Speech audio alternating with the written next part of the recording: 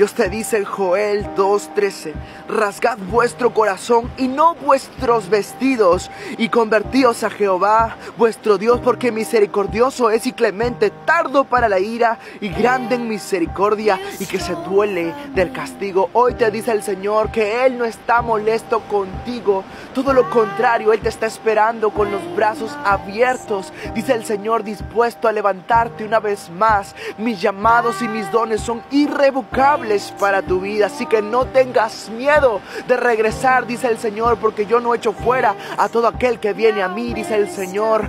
Te amo y mis planes y propósitos para ti siguen en pie. Te dice Jeremías 33:3, clama a mí y yo te responderé y te enseñaré cosas grandes y ocultas que tú no conoces.